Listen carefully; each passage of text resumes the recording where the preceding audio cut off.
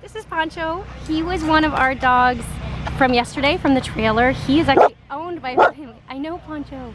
He's owned by a family, but their house was flooded, so they asked this rescue to hold on to him. He's the sweetest thing. So we've been taking care of him while we're here. He's getting a lot of attention, a lot of walks. Um, and I'm so happy to see him again. I thought he would have he would have gone somewhere else because the trailer's gone, but here he is. Poncho.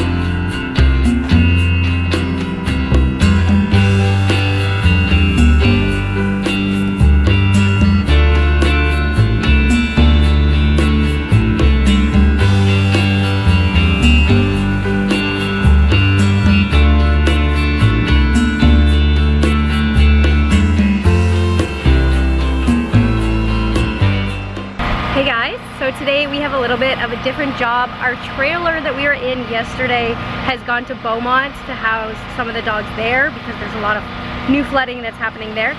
So we don't have a trailer here, which means that today we are gonna be sorting through uh, all of the donations. So people are coming by and dropping off a ton of stuff, crates, food, bags of towels, and cleaning supplies and things like that. So we're basically, we're going through everything and we're sorting it into different piles that can be then sent to Austin or to um, all the shelters here, wherever the dogs are going.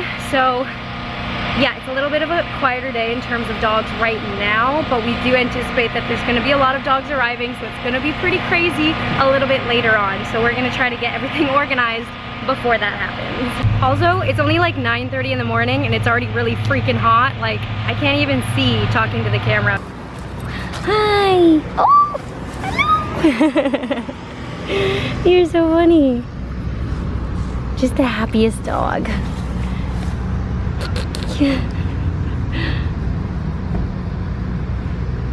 Good boy. Okay, you want to keep walking? Let's keep going.